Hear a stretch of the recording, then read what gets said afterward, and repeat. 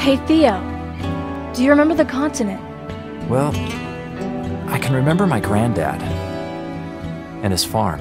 I'm sure you'll see him again as soon as we get off of this island. I hope so.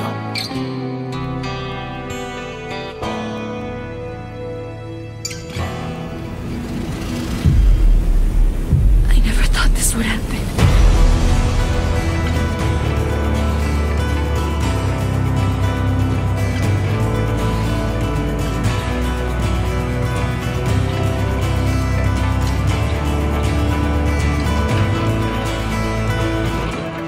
Spent the last few years working on a plan? Who designed all the tools that helped you get this far? And most importantly, who helped you escape from the mines?